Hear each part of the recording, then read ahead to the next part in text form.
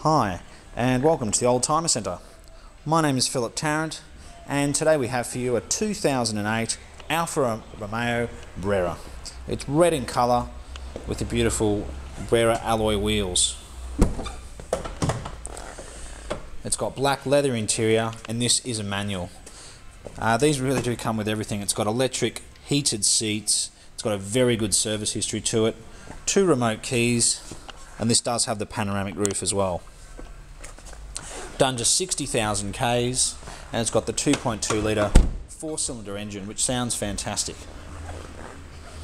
Yeah, I remember when these came out, and I'm looking at one, just thinking it was just such a beautiful car to look at. And both the four and the six cylinder have the four exhausts on the back as well. So it's a two door car, it's still the current model, there's still room in the back. It is a four seater, but there's still room in the back, and if you put the seat forward, it electrically goes forward for when people are going in the back. Just makes it a lot easier. I'll just open the boot. There's a button in here. There we go. Let's have a look. See, it's still got plenty of space in the back. Looks like the back seats do fold down as well. It's got a stacker, CD stacker in the back. There's your spare wheel and tools, which is fantastic. I think I mentioned it does have a very good service history to it, it does have two remote keys.